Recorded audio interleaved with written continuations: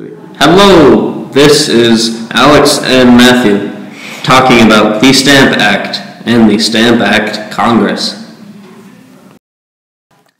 In 1765, the British fought and won in the French and Indian War, also known as the Seven Years' War. It's called the French and Indian War because the French and Indians fought against the British. It was fought for the colonists. In the war, the British accumulated 140 million pounds in debt because wars are expensive. The Prime Minister of Britain, Lord Grenville, decided that the colonies must pay for the war, so he imposed a Stamp Act. Each stamp was five cents. These stamps were required on 50 various paper materials such as newspapers, playing cards,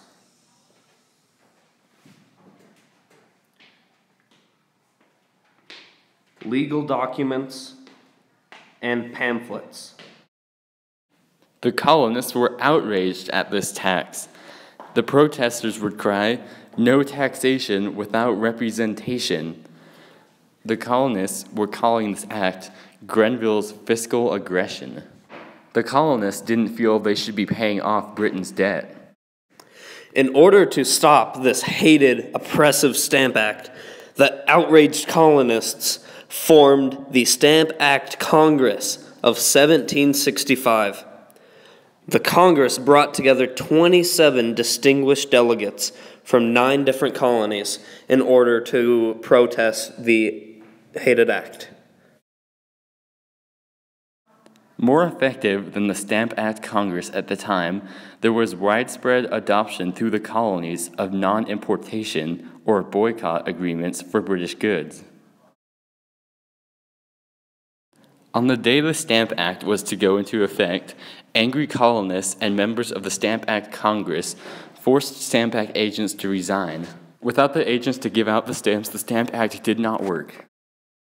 In 1766, Parliament decided they were fed up with all the Stamp Act resistance. They decided to repeal the Stamp Act to prevent further troubles. The colonists were overjoyed with this fact and cheered in the streets. The end.